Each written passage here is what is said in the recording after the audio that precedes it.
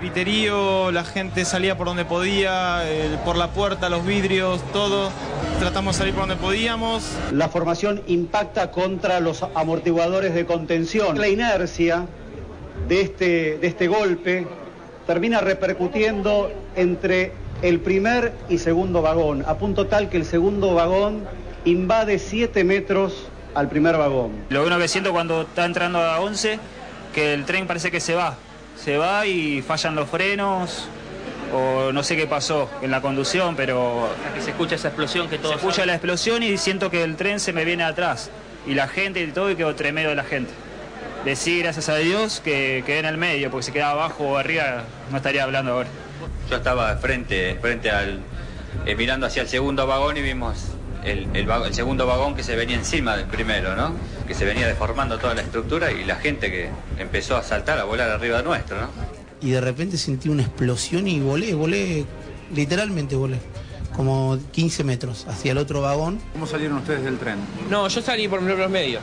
Eh, ya te digo, pisando gente, buscando a mi hermano. Estaba desesperado buscando a mi hermano. Ella que viste al chofer eh, y en Sí. algún momento decía algo. Sí, no, no, lo vi así, pero lo vi muy mal, lo vi todo con el cuerpo todo aplastado. Nosotros veníamos diciendo qué rápido que viene. Bueno, por lo menos vamos a llegar rápido. Pero cuando llegaba a cada estación que llegaba, ese hombre frenaba de golpe. que a Edo se pasó, eh, se pasó casi medio, medio tren, digamos, media formación se pasó de la estación. Ya dos estaciones ya se pasó de largo ya y tuvo que retroceder. En Flores, Caballito ya pasó de largo y tuvo que retroceder y acá justo lo- le pasó lo mismo. Acá no lo pudo. La influencia del, del maquinita, no sé cómo se llama, ya tenía que parar ahí, pero siguió. ¿Frenaba en las estaciones? Sí, frenaba en las estaciones porque dice que en Flores paró y después volvió para atrás. Yo nunca me di cuenta de eso. ¿No viviste con un tren que venía frenando en varias estaciones anteriores? El tren era rápido. El tren era rápido y, estaba, y frenaba en la estación.